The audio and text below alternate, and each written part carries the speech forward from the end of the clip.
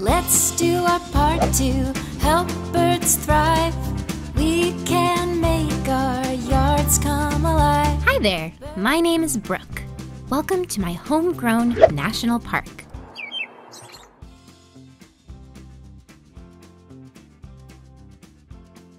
Last night there was a huge storm. Our garbage bins fell over and made a big mess in our backyard.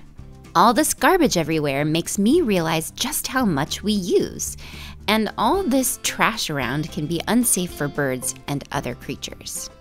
We wrote a song to imagine how we can give this plastic, paper, and glass a chance to be new again. This process is called recycling. Let's watch one plastic bottle's recycling journey.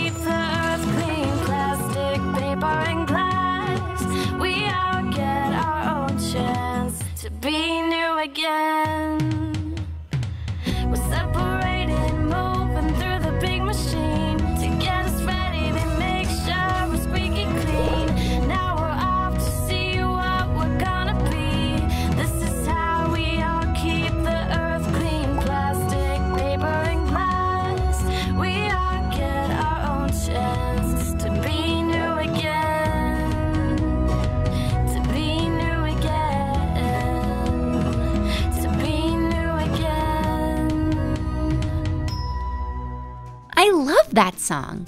It makes recycling feel like magic. We need to give every piece of plastic, paper, and glass a chance to be new again.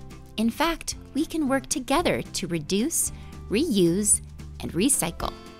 I like to reduce the amount of paper I use by using my reusable lunchbox instead of paper bags. I like to reuse plastic by making it into a homemade bird feeder. I also like to recycle plastic, paper, and glass by putting it in this recycling bin. Just look for this symbol on your trash can, and you can recycle too. When we're protecting our ecosystem, every little bit helps. Let's all do our part to keep our earth clean for birds and all our animal friends.